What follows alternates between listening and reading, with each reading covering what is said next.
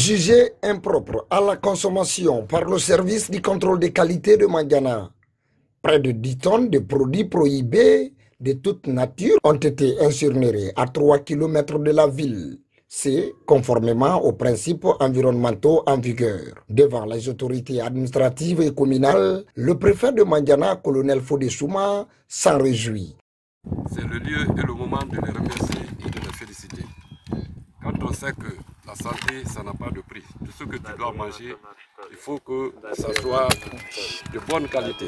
Il faut que ça soit de très bonne qualité.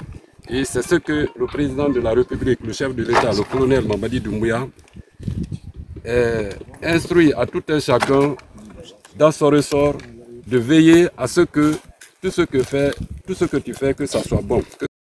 À son tour, le jeune directeur du commerce de l'industrie de petites et moyennes entreprises félicite le président de la transition pour sa volonté de faire ses services un véritable bataillon contre les produits prohibés.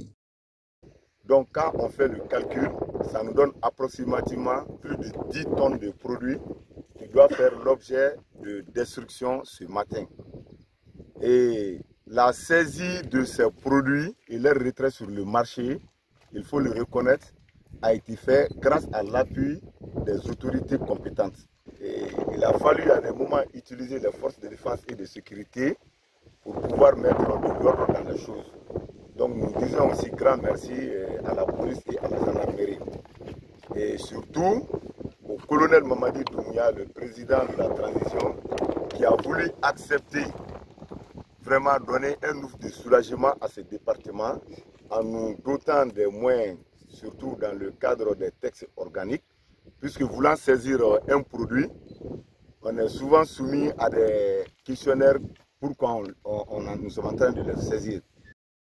Pour le technicien de la boîte Karamogo Dumbuya, chef cellule contrôle de qualité, invite les commerçants à plus d'efforts pour contrôler les marchandises.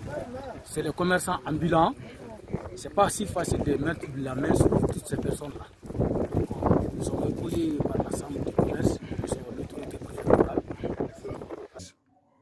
Quant aux environnementalistes, les principes ont été largement respectés.